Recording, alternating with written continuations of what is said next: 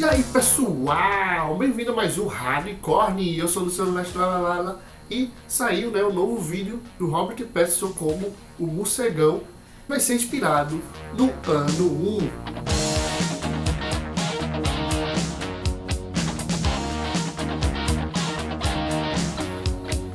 1. E se você ainda está gostando aqui do tema do vídeo, não se esqueça de se inscrever no canal, curtir o vídeo e comentar aqui embaixo, beleza? Mano, esse é, Batman né, do Matt Reeves com Robert Pattinson tem tudo para ser uma adaptação do ano 1. Em comparação com o vídeo, podemos perceber que parece demais, né? É uma referência à capa do ano 1.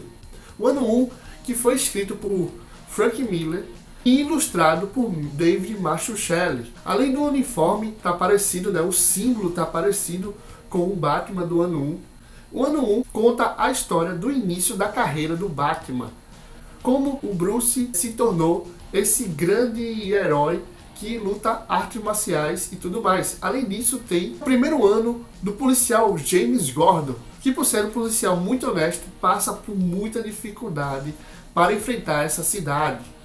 Também tem a participação de Harvey Dent, além de ter também a participação da mulher gato.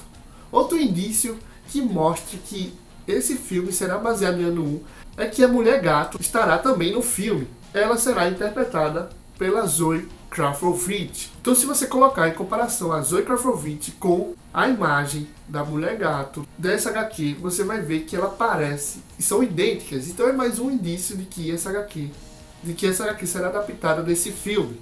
O Matt Reeves também falou que esse filme será mais no ar, será mais investigativo que é a base dessa HQ. Também teve uma reportagem que o Robert Pattinson falou que o Batman não seria um herói convencional. E isso faz tudo a ver, porque nessa HQ, Bruce Wayne, o Batman, faz diversas burradas e isso pega muito mal pro lado dele. Então, isso aí deve ser alguma menção a isso pelo Robert Pattinson. Então, acho que vai ser isso. Vai ser, sim, uma adaptação do ano 1, do Batman do ano 1, que já foi ali utilizado pelo Nolan, porém ele vai fazer uma adaptação, né? Vai usar outros personagens, vilões, porque vai ter o Charada, vai ter o Pinguim, e nessa HQ não tem esses vilões. Porém, como o Nolan, que usou o Hazal e outros personagens, eles podem fazer essa adaptação. E obviamente que não vai terminar igual terminou o Nolan, né? Senão vai ser uma imitação direta, porque o Nolan pegou o final da HQ e colocou no Batman Begins. Mas, sendo uma adaptação, né, não, não precisa ter tudo da HQ no filme. Até porque Matt Reeves não costuma fazer isso igual ao Zack Snyder. E você gostou? Comenta aqui embaixo. Aqui do lado tem vídeo para você assistir, o botão para você inscrever. Obrigado por assistir aqui. Nos vemos na próxima. Tchau!